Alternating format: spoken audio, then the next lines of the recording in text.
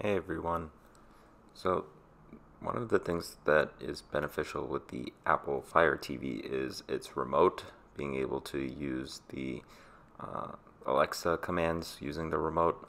But sometimes it's a little bit harder when your devices are not Bluetooth enabled. But there is a benefit to how your remote can work still with these kinds of devices. Now, you see, I have my TV here. This is an LG Smart TV uh, but for the most part, we use the Amazon Fire with controlling it.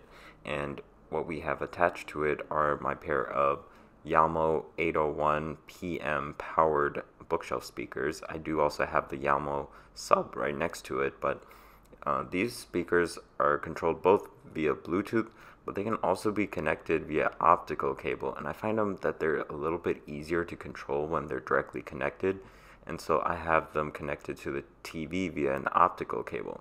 So what that means is that the speakers need to be controlled separately, but you can set up your Amazon Fire device and its remote as it has IR built into it to control these speakers as well. And that's what I'm going to show you is that you can control both regular speakers that are uh, have their own remote or use IR commands and you can control them still using your Amazon Fire remote.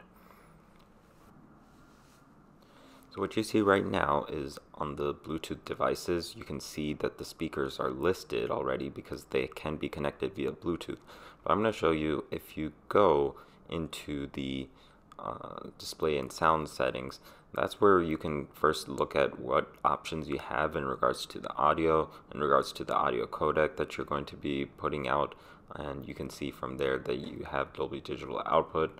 And that more so applies to if you're connected to a device via HDMI. However, in our case, we're connected via a optical cable, and so for that, what we'll need to do is go over to the equipment control. And so when you go over to equipment control, you get the options for looking at all of the different devices that you have in your home theater setup. One of the benefits as well with the Amazon Fire Stick is that with the remote, you can set up how you control your TV, how you control your speakers, and if you have game devices such as the PlayStation, I have a PlayStation 4 here, you can set it up with uh, the Alexa controls.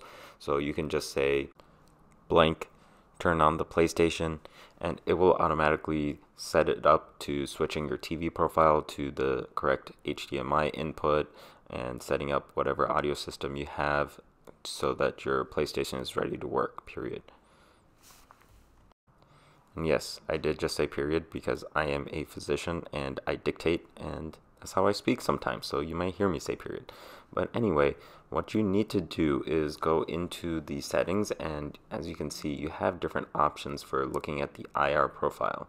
So my speakers, although they're bookshelf speakers, Jamo also makes a soundbar and so typically these types of speakers are kind of lumped together all under soundbar. So the signaling profile would be the same. So that's what you would look for. So in this case, my system is already set up for uh, my Jamo speakers, but what you would need to look for is uh, under the profile is Jamo.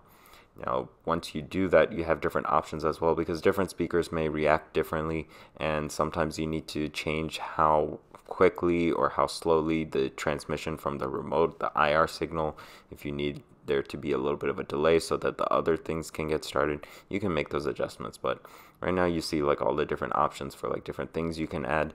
And in this case, again, what you would be looking for is a soundbar. Now, once you do that, you'll be able to control the speakers. Now, obviously your remote, the Amazon Fire remote, it has a limited set of buttons, primarily it has a mute button and it has the volume buttons. And that's mostly what you're going to be able to use. Typically with a lot of speakers, what you would have is different controls for say the subwoofer, adjusting that, adjusting the different mid levels, the treble, things like that on certain remotes. And unfortunately, you will not be able to adjust those. You would still need to use the Jamo remote to make those changes. But still, it makes it a lot easier if you have everything set up the way you want. Just having one remote being able to control all of the things. And so you can hide away all the other remotes and just keep this as your main focus. And when the occasion comes when you need to make those adjustments for a particular setting or for a particular movie, you can go in and make those changes. So I hope this is a little bit helpful. You can kind of see that you have different options within the settings for controlling these devices, but this is something that I think uh, is overlooked and a lot of people don't know about. So I hope this is helpful. I'm going to, this is the first video in quite some time, but I'm hoping to start becoming more regular and hopefully uh, you guys find some benefit from this tutorial. Right? This is Naptown Fizzle, peacing out.